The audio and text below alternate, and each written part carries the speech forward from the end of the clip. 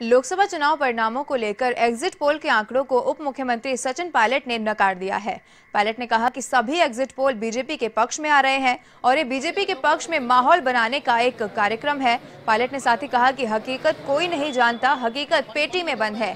तेईस मई को मतगणना के बाद जनादेश कांग्रेस के पक्ष में आएगा और सभी विपक्षी दल मिलकर कांग्रेस के नेतृत्व में सरकार का निर्माण करेंगे। ईवीएम को लेकर उठे सवालों को लेकर पायलट ने कहा कि सभी दल मिलकर वीवीपैट के मिलान की मांग कर रहे हैं। और इस मांग को चुनाव आयोग को देखना चाहिए और निष्पक्ष होकर काम करना चाहिए।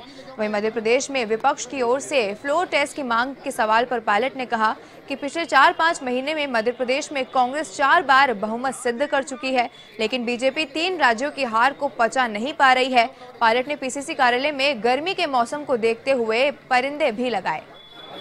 पानी पानी जगह बड़ा है जगह पर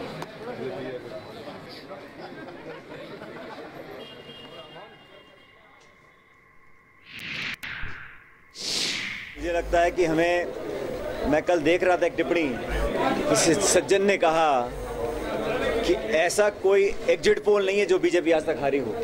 तो भारतीय जनता पार्टी हमेशा एक माहौल निर्माण करने में आगे रहती है, लेकिन हकीकत मतदाता जानता है, ना टीवी चैनल जानते हैं, ना सटोरी जानते हैं और ना एग्जिट पोल वाले जानते हैं। हकीकत डिब्बों में बंद है।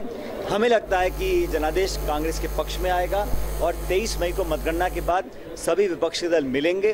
सोनिया गांधी जी ने बैठक बुलाई है। मुझे पूरा विश्वास है कि कांग्रेस हमारे सहयोगी दल और अन्य दल मिलकर एक नई सरकार बनाएँगे देश के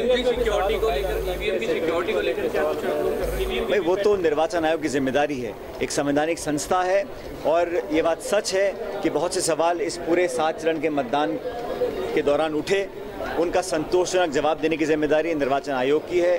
निर्वाचन आयोग को निर्भय होकर निष्पक्ष होकर निडर होकर अपना काम करना चाहिए और ईवीएम्स हो, मतगणना हो, सुरक्षा हो, उन तमाम चीज़ों पर देश की नज़र है। मैं उम्मीद करता हूँ कि निर्वाचन आयोग अपनी ज़िम्मेदारी को पूरी निष्ठा से निभाए